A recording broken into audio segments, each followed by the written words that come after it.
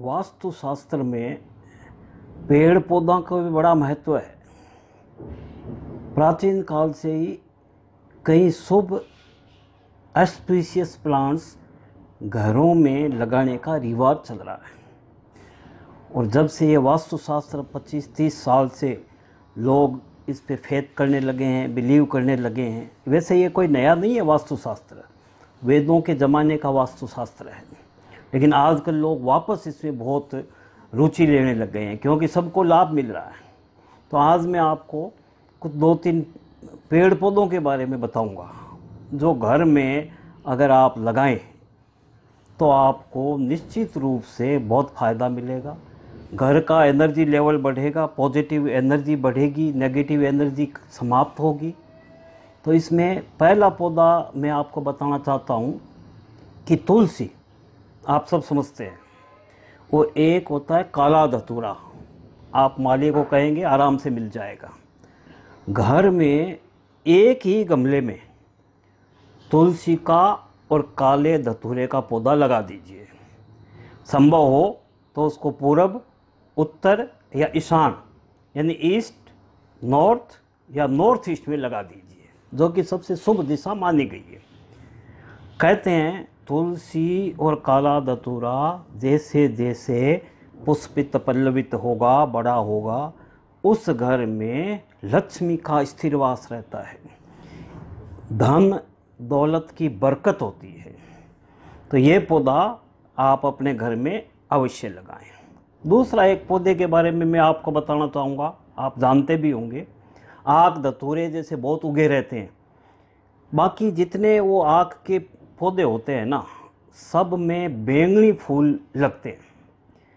दो चार पाँच हज़ार पौधों में कोई पौधा निकलता है जिसमें सफ़ेद फूल लगते हैं। जिसको कहा जाता है श्वेत आर्क, सफ़ेद आर्क। श्वेत आर्क गणपति। यानी सफ़ेद फूल वाला ये सफ़ेद आक का पौधा। ये भी घर के पूरब, उत्तर या ईशान में लगाना चाहिए। इस पौधे की खासियत यह है कि जैसे जैसे ये बड़ा होगा, आप दंग रह जाएँगे कि तीन चार साल, पाँच साल में जब इसको खोद करके देखेंगे तो इसकी जड़ एकदम हू गणेश के आकार की निकलेगी। यह तो इसकी विलक्षणता है। इसीलिए इसको कहते हैं श्वेतार्क गणपति, यानी गणेश हर प्रकार के विघ्न, बाधा और दोषों को दूर करने वाला। जिस घर में यह होता है, कहते हैं किसी भी प्रकार की विघ्न, बाधा नहीं आती। आराम से मिल जाएगा। माली को बोल दीजिए पूर्व या उत्तर दिशा में इसको अच्छे नक्षत्र में लगा लीजिए, नहीं तो बुधवार को लगा लीजिए। यह बहुत ही महत्वपूर्ण पौधा हमारे शास्त्रों में माना गया है। श्वेत आर्क गणपति। एक पौधे के बारे में और मैं बताऊँगा।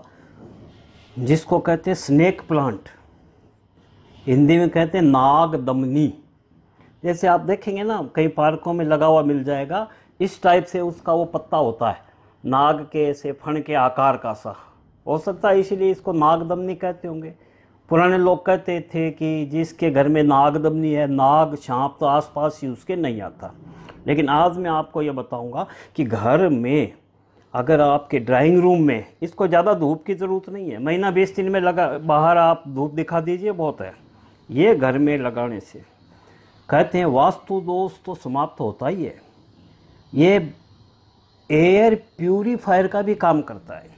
अभी आईआईटी कानपुर वालों ने भी इस पर रिसर्च करी है कि हाँ ये वायु प्रदूषण को समाप्त करने में महत्वपूर्ण भूमिका अदा करता है।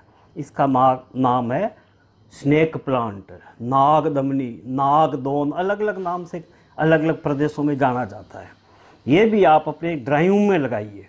तो आप देखेंगे कि कई प्रकार का एनर्जी लेवल आपको ऐसे पॉजिटिव एनर्जी फीलिंग होएगी और वायु का प्रदूषण समाप्त होगा। वास्तु दोष इससे कम होएँगे। इसके बाद में एक पौधा जो आप घरों में लगाया हुआ मिल जाएगा, जिसको बोलते हैं एलन पाम इसको भी वो आईआईटी कानपुर वालों ने कहा है कि ये भी एयर प्यूरीफायर का काम करता है। दिल्ली, कलकत्ता बम्बई मद्रास में, जहाँ बहुत वायु का प्रदूषण है, इसको ड्राइंग रूम में लगा लेना चाहिए। इससे एनर्जी लेवल भी पॉजिटिव होगा और वास्तु दोष भी कहीं भी है तो वो कम होगा और हवा जो है, शुद्ध हवा, विषैले तत्वों को अलग करके आप तक यह पहुंचाएगा। इसको बोलते हैं एलन पाम